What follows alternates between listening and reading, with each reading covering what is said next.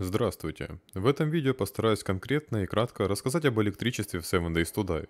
Опустим предисловие. Начинается все как обычно с крафтов. Нас интересуют категории электрики и ловушек. В категории электрики производство электроэнергии, освещение, а также триггеры, которые активируют подачу электричества. В категории ловушек у нас находятся ловушки. Удивительно. Для большего удобства я разделю видео на небольшие разделы и оставлю к ним тайм-коды. Так вам будет удобнее. Но для начала очень важное предисловие. При постройке базы и тем более при проложении электричества используйте клаймблок. Он даст вам возможность забыть о ситуациях, когда вы ломаете блок инструментом и получаете лишь часть ресурсов. Просто подходите и подбираете. Клаймблок в этом плане очень сильно спасает от головной боли. Что ж, производство электроэнергии и подключение. Получить электричество мы можем всего тремя способами. Это бензиновый генератор, аккумуляторный блок и солнечная панель. Пройдемся по порядку. Бензиновый генератор открывается самым первым, его легко скрафтить и он часто есть в ассортименте торговца. Может производить вплоть до 300 Вт электроэнергии в зависимости от того, сколько двигателей установлено внутри. Каждый двигатель дает 50 Вт энергии. Также нам понадобится бензин, но его тоже легко купить у торговца, получить из бочек при разборке машин. Также есть возможность создать бензин в химлаборатории, но для этого нужен рецепт. Далее в списке аккумуляторный блок. По сути все то же самое, что и генератор, только вместо двигателей использует аккумуляторы. Качество аккумулятора влияет на количество производимой электроэнергии. У аккумуляторов есть прочность, это его ресурс. По истечению мы перестаем получать электроэнергию, и нам остается выкинуть этот аккумулятор, либо же зарядить его с помощью солнечной панели. Концепция здесь очень похожа на аккумуляторный блок, но для производства электроэнергии нужны солнечные элементы, они, кстати, не ломаются. Солнечную панель и элементы к ней нельзя скрафтить.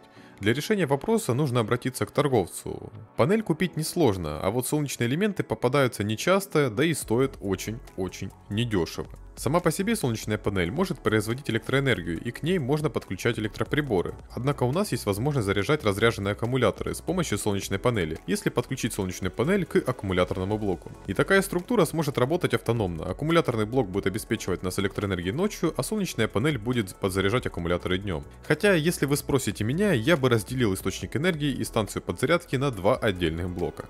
Подключение электричества производится с использованием стрипера. Его можно легко найти, скрафтить, либо же купить у торговца. С подключением электроэнергии в 7 Days все да нельзя примитивно. Самое главное это последовательность. Кстати, в базовых обстоятельствах мы не видим провода. Для того, чтобы их увидеть, достаточно взять стрипер в руки. Он же показывает направление подключенного провода. Берем источник электроэнергии, подключаем к какому-то промежуточному звену, ну и дальше уже подключаем ко всему остальному. Как промежуточные звенья мы можем использовать практически всю электронику в игре. Это могут быть обычные фонари, либо же специальные реле. Реле с электрическими проводами используется как промежуточное звено, а реле с таймером включает передачу электроэнергии в определенный промежуток времени. Важно помнить, что мы не можем подключить в одну энергосеть сразу несколько источников электроэнергии.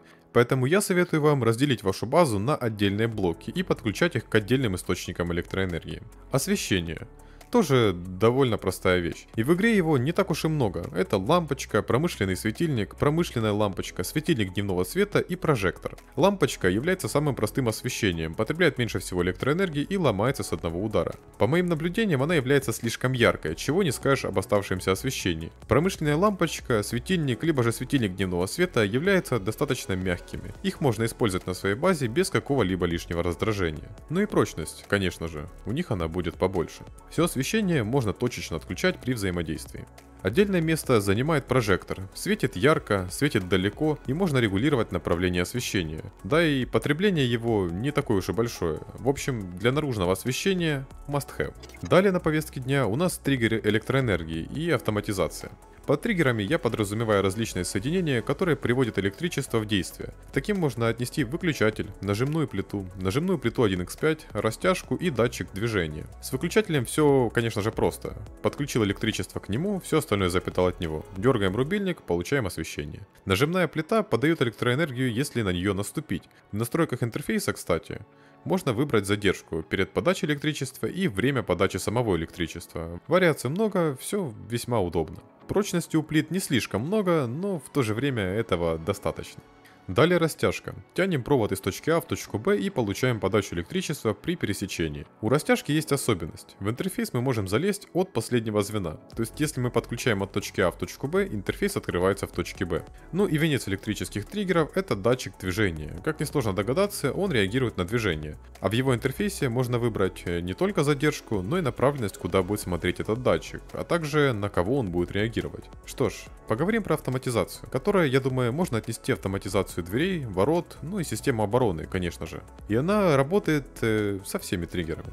Подключаем электроэнергию к триггеру, а потом к источнику потребления электричества, которое нам нужно автоматизировать. Выставляем нужные настройки и готово. Все работает так, как нужно. Однако, что делать, если мы хотим получить автоматизацию не только изнутри, но и снаружи? Для этого нужно подключить электроэнергию сначала к первому триггеру, потом ко второму и уже от второго запитать то, что нам нужно. И вуаля, все работает как часы, хоть и выглядит немножко стрёмно.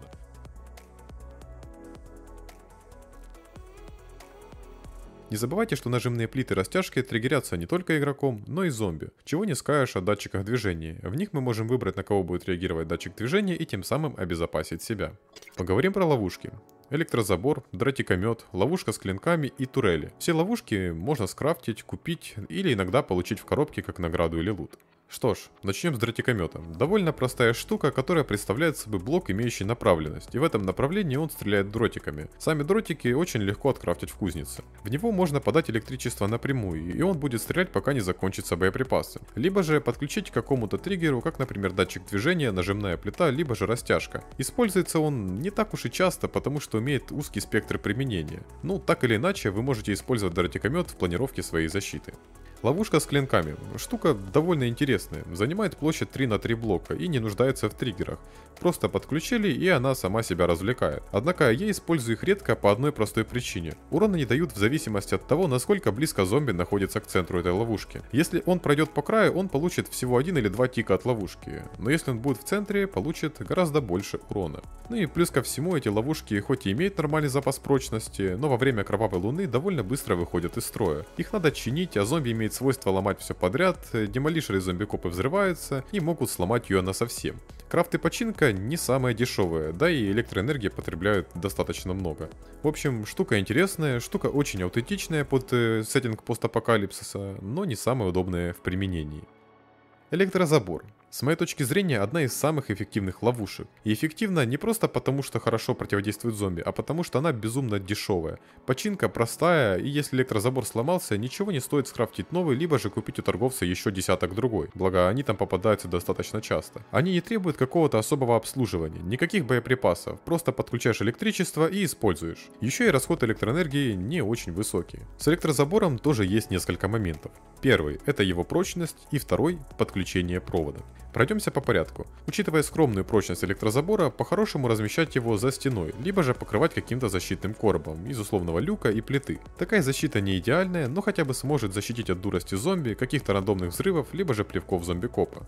Но говоря про подключение, давайте начнем с максимального расстояния. Максимальная длина подключения электрозабора такая же, как и у подключения всей другой электроники. Это 14 блоков между ними. И не бойтесь, если провод начинает гореть красным. Просто отойдите немного назад и подключите с расстояния. Сама же специфика подключения электричества здесь довольно простая. Для начала подмечу, что электрозабор находится довольно высоко, поэтому советую ставить его либо же вверх ногами, либо же на блок ниже, чтобы он дамажил зомби-собак и зомби-ползунов. Это вам сильно поможет. Ну а подключение провода здесь происходит следующим образом. Подключаем электричество к первому звену, а сам провод, который будет бить зомби, протягиваем к остальным звеньям. То есть при большом желании вы можете сделать что-то наподобие перекрестного электрозабора, но я так делать не советую. Почему же? А тут действует одно важное правило. Урон получает последнее подключенное звено. Поэтому, если вы будете подключать электрозабор перекрестным способом подключения, урон будут получать все электрозаборы. Ну а если одно промежуточное звено сломается, защита отключится. В случае, если вы будете прокладывать э, от одного электрозабора только один напряженный кабель, урон будет получать только последний. В своих базах я использую именно такую специфику, устанавливая один электрозабор и уже от него запитывая все остальные звенья, которые будут бить током. Либо же использую одно звено на один электрический кабель. То есть э, слева у меня находится электрозабор, подключенный к электричеству, а справа электрозабор, к которому я тяну кабель под напряжением. Таким образом, про левую сторону я забываю, а к правой у меня зачастую подведен какой-то доступ для того, чтобы я мог спокойно чинить эти электрозаборы во время кровавой луны. Ну и последнее в нашем списке – турели. Турель из дробовика и турель из ПП. Именно в такой последовательности они изучаются. Имеют похожий функционал, как и у датчика движения. Можно выбрать направление, куда будет смотреть турель, а также в кого она будет стрелять. У турели есть слот под боеприпасы, в который можно положить только базовые боеприпасы, как, например, обычный дроп для дробовика, либо же базовые 9-мм патроны. Экспансивки, либо же бронебойные запихнуть туда нельзя. Для экономии электроэнергии можно немножко извернуться и подключить турель от датчика движения с такими же настройками настройками цели. Таким образом, турель будет потреблять электроэнергию не всегда, а лишь тогда, когда перед ней кто-то появится. Такая система очень удобна при защите вашей крыши от условных стервятников, потому что турель должна работать всегда, но с другой стороны стервятники там пролетают ну не так уж часто. В общем, возьмите себе на заметку. По итогу могу сказать, что я почти всегда использую турель из ПП для того, чтобы сбивать стервятников на крыше. Но против зомби я их использую не так уж часто. Стреляют они не так метко и убойно, как хотелось бы. В общем, развернуть серьезную оборону можно, но я не сторонник таких инициатив. А на этом у меня все, и пусть это видео не является каким-то откровением и не несет в себе эксклюзивной информации, надеюсь оно поможет вам при планировании вашей системы обороны и постройке базы. Всем спасибо за уделенное внимание и до свидания.